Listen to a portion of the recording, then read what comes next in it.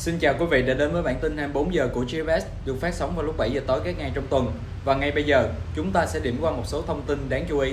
Những tin chính trong bản tin hôm nay, giá Bitcoin tiếp tục giảm khi Fed xác nhận sẽ tăng lãi suất. Năm 2021, các quỹ tiền kỹ thuật số đã thu hút được dòng vốn cao kỷ lục. Thị trưởng Miami muốn các thị trưởng của nước Mỹ cùng ký một bản cam kết thúc đẩy phát triển tiền kỹ thuật số để đảm bảo cho vị thế dẫn đầu của nước Mỹ. Đáng chú ý, cuộc đua của các ông lớn ngân hàng châu Âu trong việc cung cấp dịch vụ liên quan tiền số sẽ mở ra cơ hội rộng rãi cho hàng trăm triệu người dùng. Liệu có tạo ra động lực cho sự bùng nổ của thị trường trong năm tới? Tất cả sẽ có trong bản tin hôm nay. Giá Bitcoin giảm xuống mức thấp nhất trong vòng một tháng qua. Giá Bitcoin giảm xuống còn 42.500 đô la sau khi tin tức Cục Dự trữ Liên bang Mỹ, Fed xác nhận lại kế hoạch tăng lãi suất vào tháng 3 năm 2022.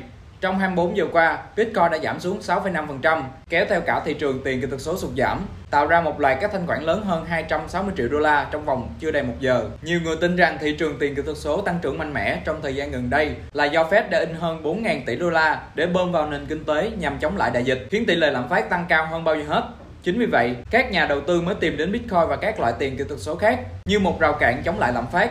Do đó, khi Fed có động thái nâng lãi suất, thì hành động đó đã gây áp lực lên giá của Bitcoin. Ngoài ra, theo New York Times, giá Bitcoin giảm một phần bắt nguồn từ việc Kazakhstan phải ban bố tình trạng khẩn cấp trên toàn quốc và đóng cửa mạng Internet của nước này vì người dân biểu tình phản đối việc tăng giá nguyên liệu của chính phủ do sự cố mất kết nối Internet ở Kazakhstan khiến việc khai thác Bitcoin gặp khó khăn tỷ lệ HIRA của Bitcoin đã giảm từ mức cao là 194 EH trên giây vào ngày 4 tháng 1 năm 2022 xuống mức thấp nhất là 168 EH trên giây trong thời gian ngắt kết nối ở Kazakhstan vào ngày 6 tháng 1 năm 2022. Bên cạnh đó, việc Ủy ban Chứng khoán và Giao dịch Hoa Kỳ SEC tiếp tục trì hoãn việc phê duyệt đối với quỹ Bitcoin ETF giao ngay của công ty NYDIG thêm 60 ngày nữa cũng có thể là một tin không tốt với Bitcoin.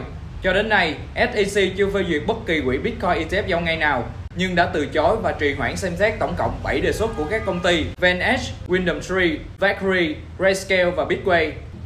Các quỹ tiền kỹ thuật số đã thu hút 9,3 tỷ đô la trong năm 2021. Các quỹ tiền kỹ thuật số của tổ chức đã thu hút dòng vốn cao kỷ lục trong năm 2021 khi nhu cầu đối với các tài sản kỹ thuật số như Bitcoin và Ethereum tiếp tục tăng lên trong một thị trường tăng giá đầy biến động. Các sản phẩm đầu tư tiền kỹ thuật số đã nhận được dòng vốn 9,3 tỷ đô la trong năm 2021 tăng từ 6,8 tỷ đô la trong năm 2020.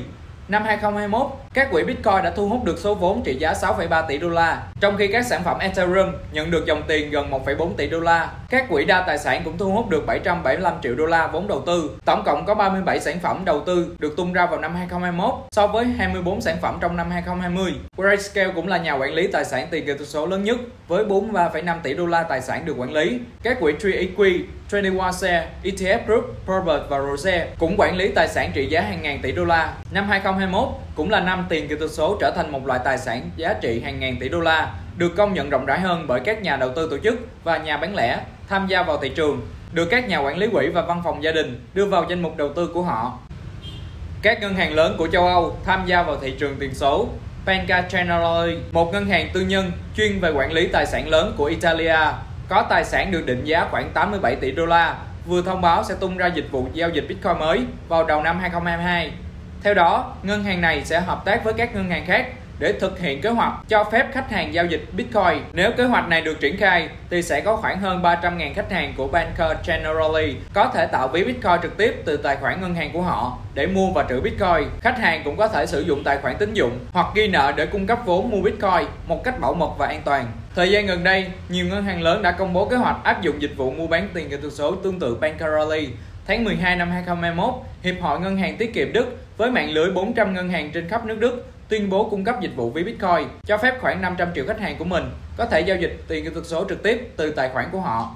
Ngay sau đó, hai ngân hàng lớn khác của Đức là Commerzbank, Vonop, Raiffeisen Bank cũng công bố kế hoạch tích hợp ví tiền kỹ thuật số. Trong khi đó, ngân hàng trực tuyến lớn nhất của Thụy Sĩ là Swissquote cũng chính thức tham gia vào thị trường với kế hoạch thành lập sàn giao dịch tập trung trong nửa đầu năm 2022 và có tham vọng sẽ trở thành nhà cung cấp tiền số dẫn đầu thị Sĩ.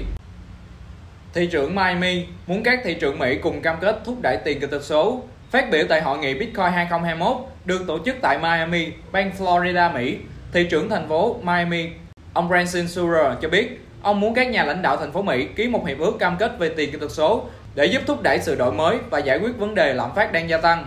Trên cương vị mới là chủ tịch của hội nghị, thị trưởng Mỹ, ông Surin mong muốn tất cả các thị trưởng của Mỹ cùng ký vào bản cam kết vì cho rằng các thành phố Mỹ cần đón nhận sự đổi mới công nghệ để đảm bảo cho một thế hệ thịnh vượng chứ không phải quay lưng như nhiều quốc gia khác, trong đó có Trung Quốc. Thời gian qua, ông Surin rất nỗ lực để xây dựng Miami trở thành một trung tâm tiền kỹ thuật số của nước Mỹ. Các công ty tiền kỹ thuật số đã chuyển trụ sở chính và đặt văn phòng tại thành phố này.